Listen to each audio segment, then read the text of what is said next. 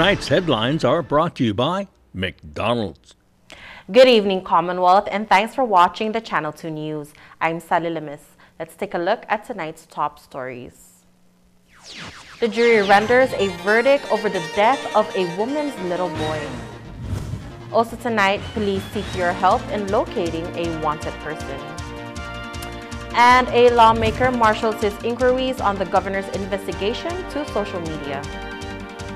In sports, green means go, and that's what basketball is about to do. Stay with us, these stories and more are next. Good morning, Kiko. I am here at Docomo Wallarai branch. The Docomo staff here are super helpful with my appointment. They take good care of me in just a few minutes. Thank you so much for helping me out downloading and using the Skip Lino app. I can take care of all my Docomo needs. No need to wait in line with the Skip Lino app. We love you, Docomo Pacific. Better together.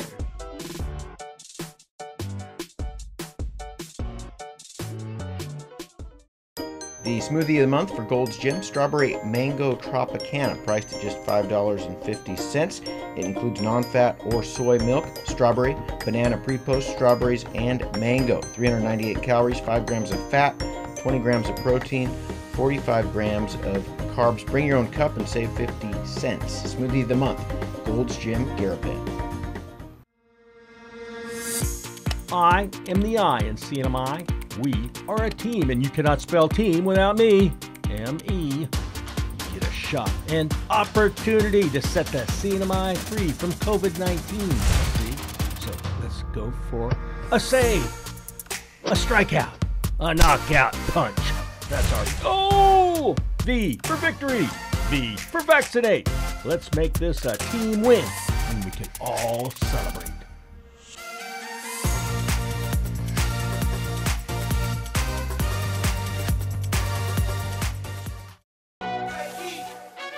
And there you have it McDonald's new crispy chicken sandwich. From the makers of the world's most stolen fries. The juicy chicken sandwich from the place that offers extra napkins for a reason. The tender chicken sandwich from the creators of a sandwich phenomenon. So you won't just be biting into a chicken sandwich, you'll be biting into McDonald's new crispy, juicy, tender chicken sandwich.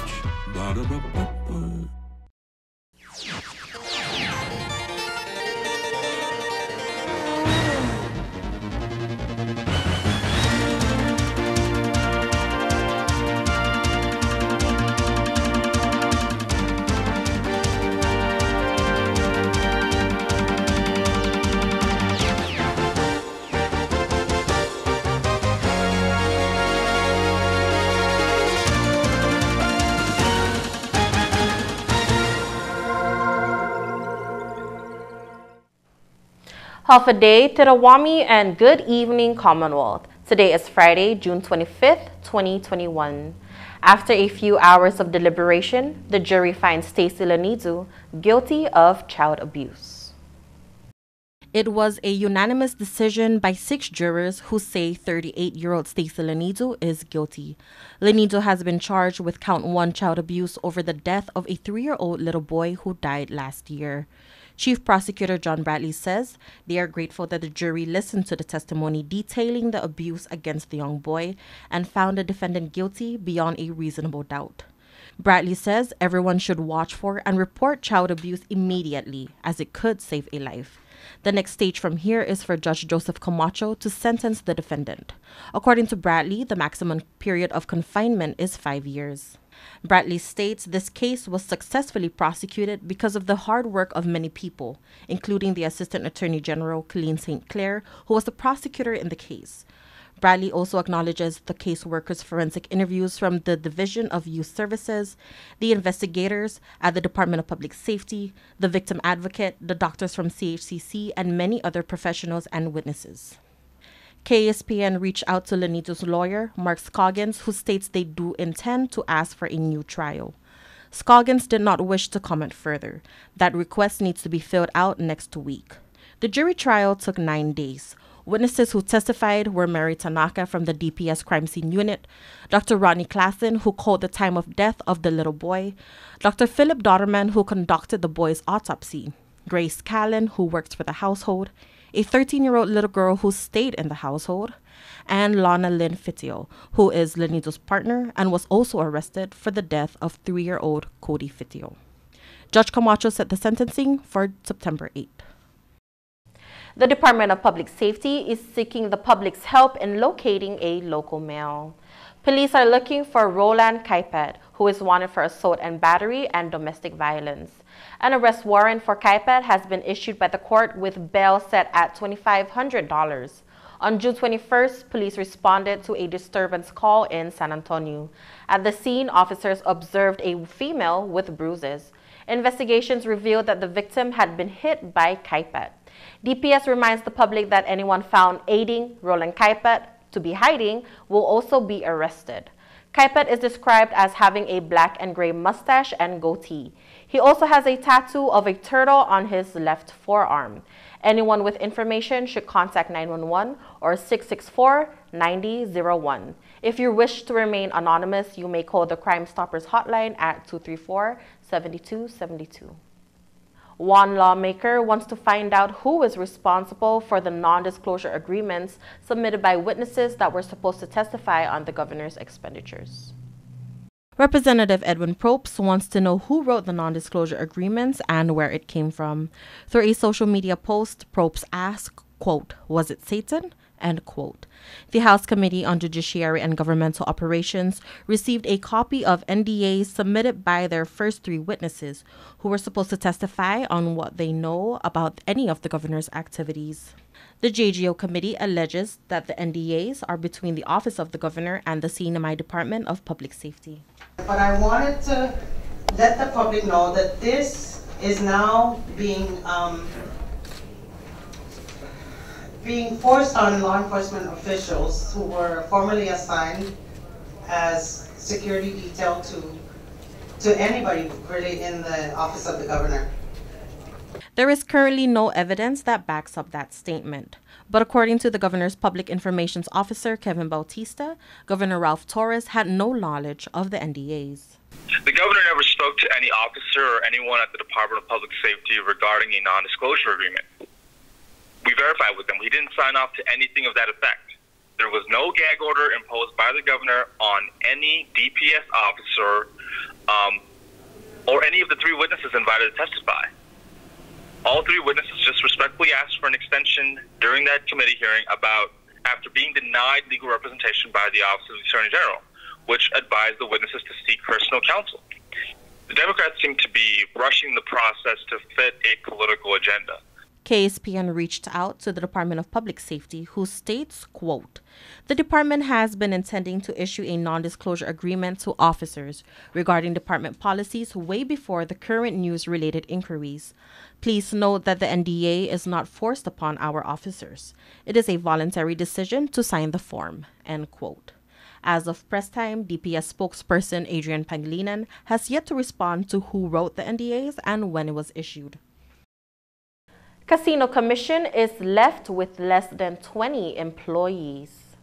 The Commonwealth Casino Commission held their monthly meeting on Thursday. Andrew Yeom delivered the director's report on finances, revealing that the commission will soon operate with a staff less than 20. At the end of the day, uh, this staff termination separ separation turned out to be about uh, around 60 60% reduction of our workforce. What this means, what this means is that we will have left with 16 staff members that include me and, legal, and the legal counsel. CCC Chairman Edward DeLeon Guerrero states the funding situation is pretty dire, but if the budget returns, DeLeon Guerrero encourages the director to expeditiously get back the employees. For those companies or agencies that have spent years, in our case, over six years of training, we've bombarded just about every gaming uh, courses that the University of Nevada has made available and other training uh, opportunities our employees have been have been uh, afforded those training for the last six years. And while I understand that this is really good for the Commonwealth in itself, good for the individual, it would be a tremendous loss for the gaming uh, regulatory body if we permanently lose this uh. The termination letters were served on June 9th and will take effect on July 31st. DeLeon Guerrero says if funding comes back before the effective date, he hopes the director will re- consider revocation of the letters. But if the commission will remain under budget constraints, more actions will follow. If, however, funding continues to be not available, CCC needs to tighten its belt even more. We're to a point that perhaps maybe future meetings, uh, we may have to start thinking about uh, meeting more often on uh, video conferencing. And perhaps even the office itself will return off all air conditioning units and all other uh, appliances uh, other than the servers that needed to be uh, chilled. Yeom's director reports also includes the total expenses for the month of May. The commission's total expense was $165,192. Um, from this total expense, uh, 71.41% was spent on personnel wages and benefits, followed by 60.38% being spent on board and uh, other compensation. The Casino Commission is also looking into online casino gaming. More on that story Monday. Coming up is our Bob Coldeen. Not with sports yet, though, with food. Stay tuned.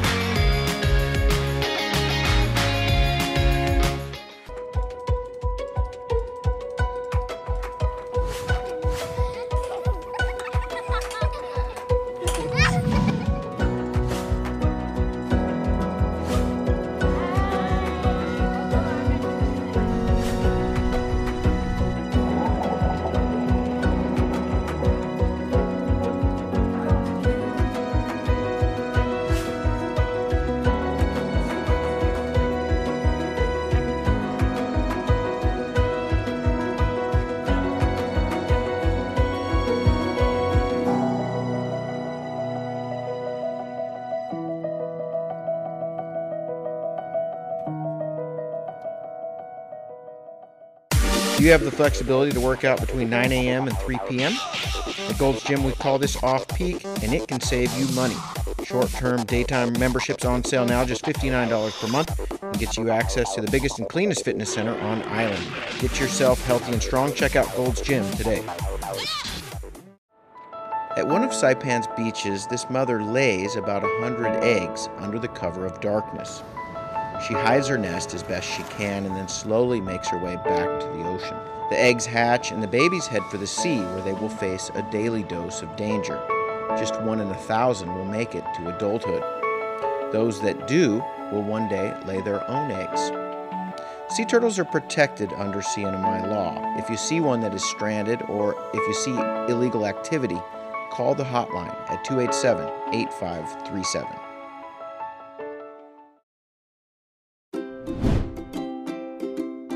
The Siu Lin Foundation promotes the culture of giving back. The foundation and its generous partners are committed to supporting programs that include health, education, and sports. Initiatives that promote arts and culture, the environment, and tourism will benefit our community and our residents. Giving back and making a difference will help ensure that the island paradise we call home will be a better place to live.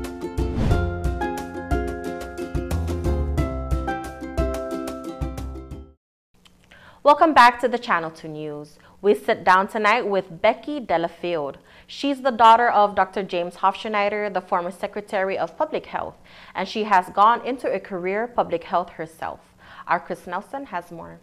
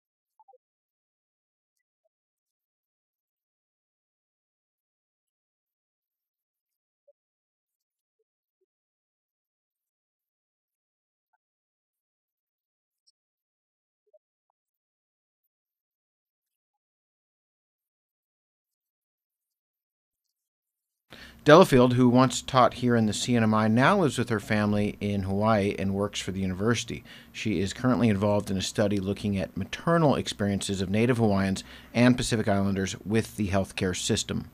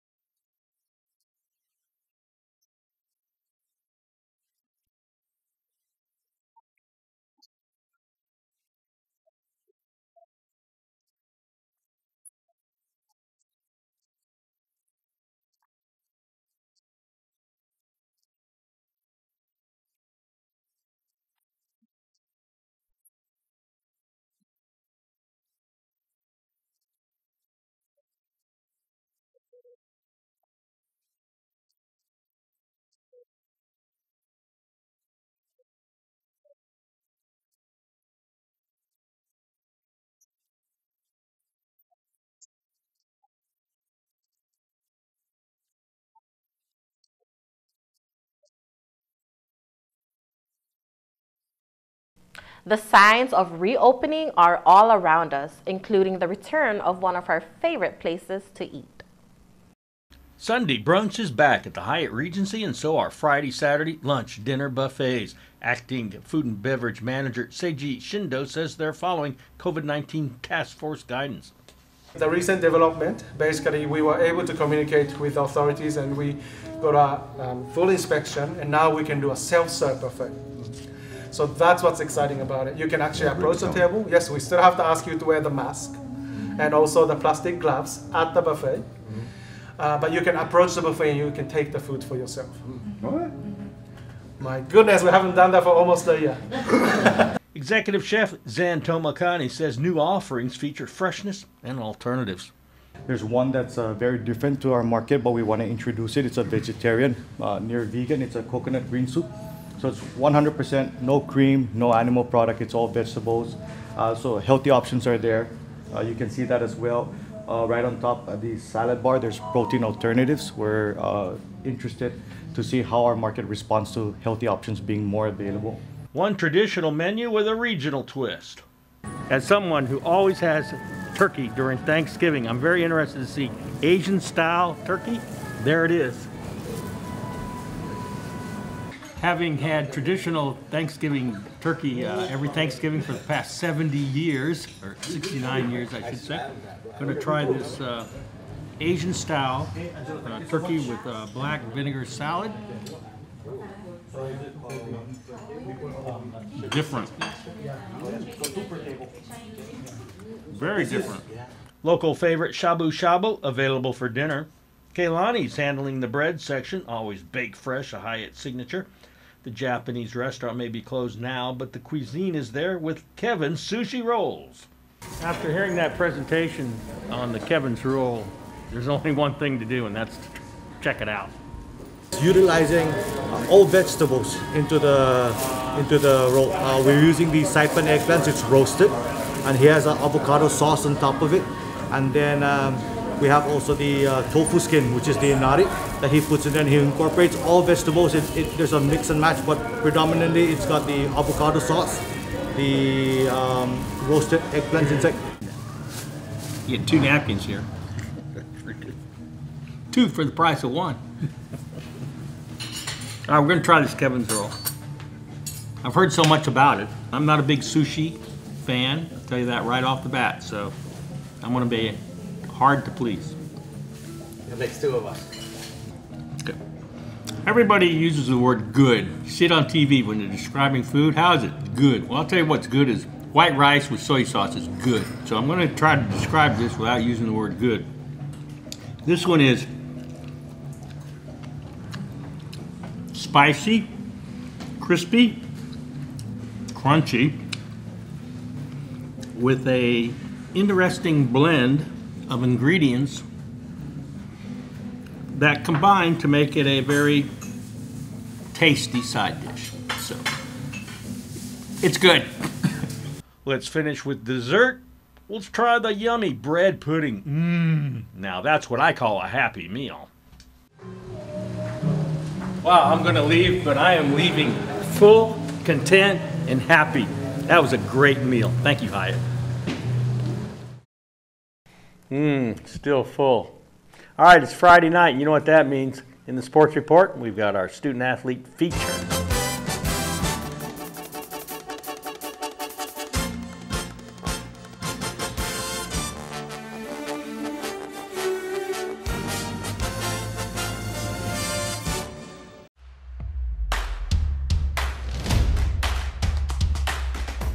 For the different beats of your life, we're here to keep you connected the way you want it. Plans made for you, by you. Build your own bundle with Link. Select the internet, entertainment, mobile, and home phone plans that fit your lifestyle. Pay for what you want, not for what you don't. Build your own bundle and save with Link.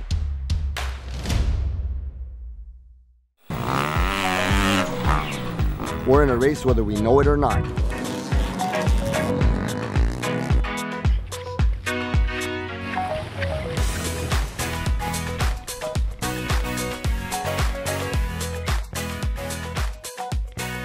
Build our new normal.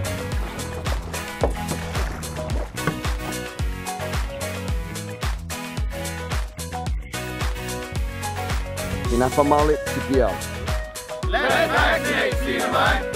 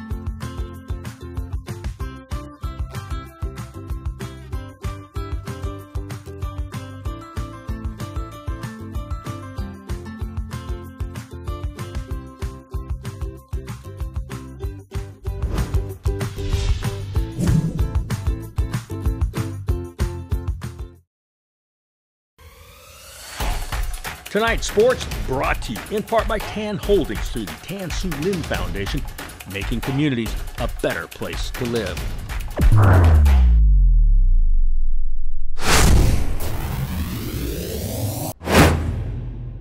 Buenas sports fans.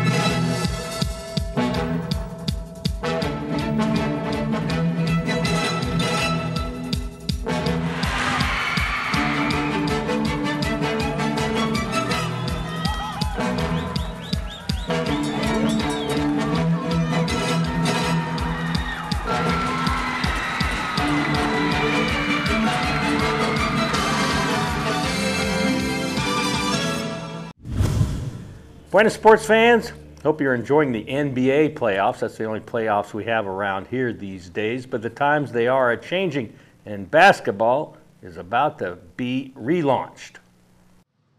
Saturday and Sunday, it's three on three men's, women's, and youth basketball. Clint Albert explains. We're running the season two of the 3x3. We ran the first one, uh, I believe, like a year and a half ago. We wanted to do this every year, but due to pandemic and all that, we had to shift our schedule. So luckily, uh, we're good to go for this Saturday. Saturday is going to be in Agape Gym, and then Sunday is going to be here at MHS. The Marion Islands Basketball Federation has a new board. James Lee takes over as the new prez. Longtime coach, official, and do it all Mr. Basketball Elias Rangamar is going back to his roots, what he loves the best. Well, we just had a new turnover, new board. So uh, uh, Clint is one of the board. I, I'm the development officer, which you know, Yeah. I think that now I can focus on just what I love to do, which is working with athletes. So yeah, uh, this is our second annual.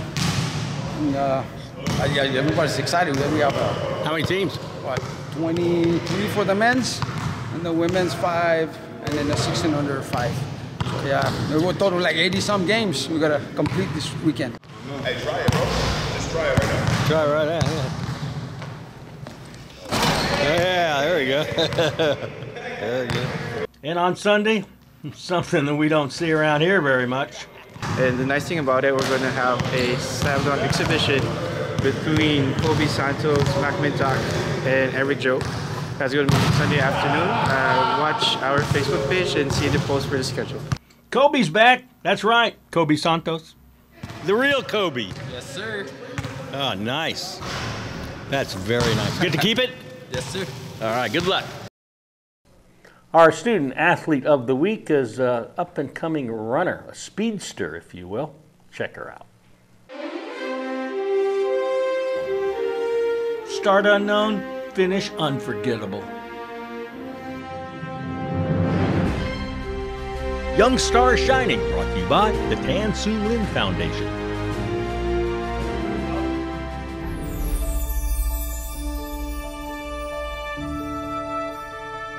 Who was the fastest girl in middle school last year? Three words.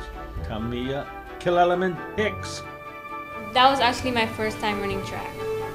You did pretty well. Did you expect to do that well? Mm, yeah. Now, growing up, you always have races as kids, right? Yeah. Have you always been among the fastest for your age? Yeah, I'm actually the fastest. But that's if she takes it to the next level training. Right now, she's just a ninth grader who also enjoys playing soccer for the national team in Tan Holdings.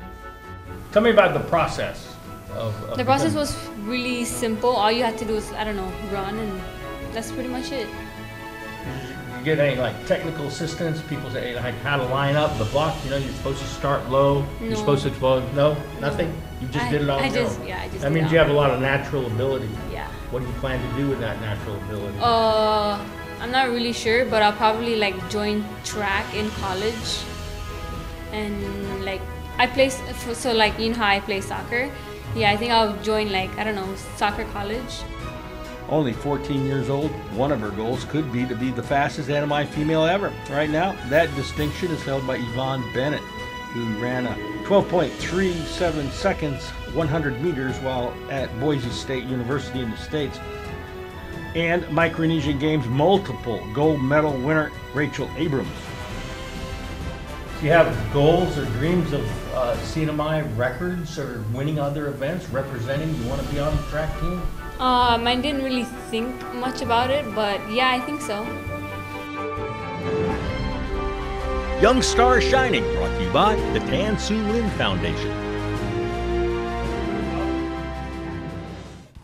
All right, next up, a special report by one of our upcoming broadcasters. He may be in the minor leagues right now, but he's been quietly biding his time, working on his delivery, his cadence, his inflection, the nouns, the adjectives, the jokes, especially the jokes. Tonight, that dream becomes a reality. Take it away, Wes. Thanks, Bob. Day, Tiro, Buenos, and Aloha sports fans. My name is Wes Rogers, and this is my trip report from Saipan.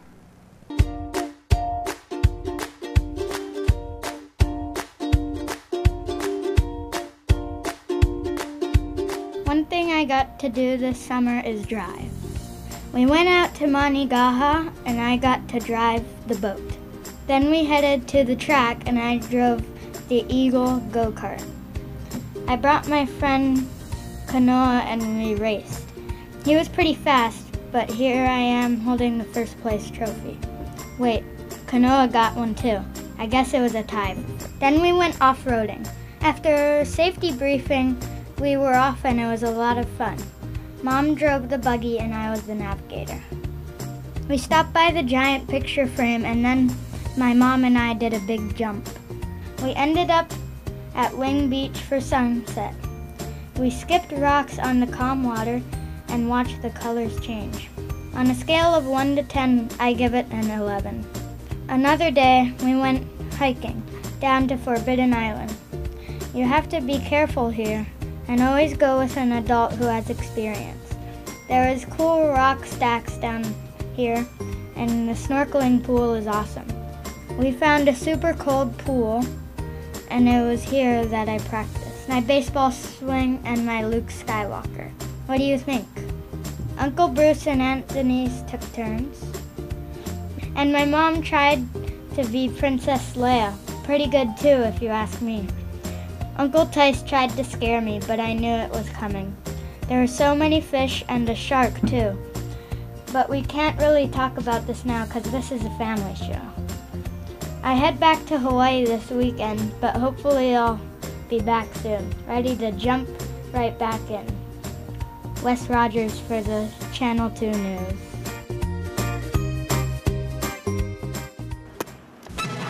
Here's the windup and the pitch. I don't believe what I just saw. Buy one, get one free for the off-road adventure at Marianas Trekking. Come ride our side-by-sides at our best price ever and experience a great 90-minute trail ride. Rain or shine, hopefully rain. Book now at Marianas Trekking. Saturdays and Sundays by reservation. Call 323-8735 or book at marianastrekking.com. So what are you going to do this year? At Gold's, a dedicated fitness studio with a cushioned floor is perfect for group exercise. The cardio room features a variety of treadmills, bikes, steppers, and ellipticals. Fitness machines will help you achieve your goals, and the largest free weight area on Saipan gives you comfortable space to work out. Gold's Gym team is ready to help you get to your goals. Try harder. We know you can do it.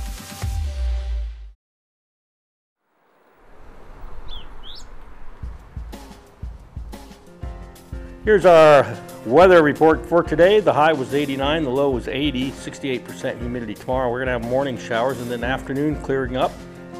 Southeast winds 10 to 15, high 89, low 80, seas 3 to 4 feet. Sunrise 549, it's getting later now. High tide at 728, low tide is at 303, sunset at 650. Uh, that's it. That's your news, sports, and weather for Friday. The weekend begins right now. It's official. Have a great one. See you back here on Monday.